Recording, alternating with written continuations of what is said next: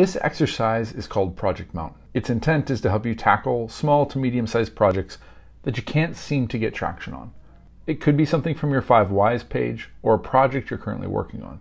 Pick a project or goal that needs to start soon or that you've been putting off. Write the name of the project at the top of a new page, and below it, the list of tasks or activities that need to be done to complete it. It's lists like these that can sometimes be a block or obstacle to making progress. At the top of a new page, draw the top portion of a triangle. Put the title of your project off to one side or inside of it. This triangle is the mountain.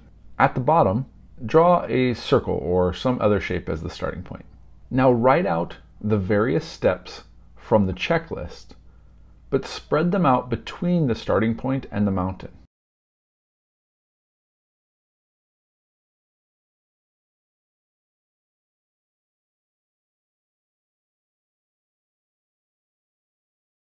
And give each one a container. If it's a task with defined steps, draw a rectangle around it. If it requires some research, draw an oval around it. If the task is conceptual, creative, or requires your choice in how to do it, draw a cloud around it. From the starting point, draw a line to the very first task or tasks that need to be started first. If any task requires another task to be completed, then it can't connect to the starting point. Draw a line from those tasks to the next. If more than one thing needs to happen to unlock that task, draw lines from both of them to this task. Do this until all the tasks have been connected and draw arrows from the last tasks to the mountain triangle. Now ask yourself, which set of tasks are the most important to the project? Thicken the lines on that path from the starting point to the mountain. This is your critical path. The other paths are important, but they're secondary.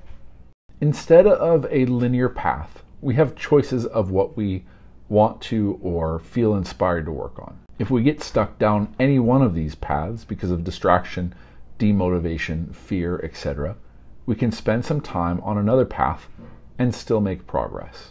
Having all of the paths laid out ahead of you and having a choice of where to start will hopefully allow you to make progress on any project, even if you've been putting it off.